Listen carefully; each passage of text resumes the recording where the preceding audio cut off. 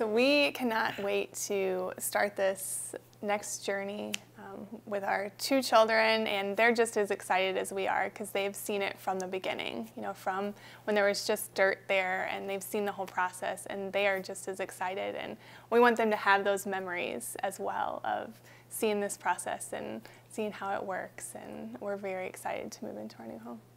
Yeah. I always grew up in the same house, and we're really excited to have our four and six year old move into the same house and have that be our forever home. So we're happy that's with Consort.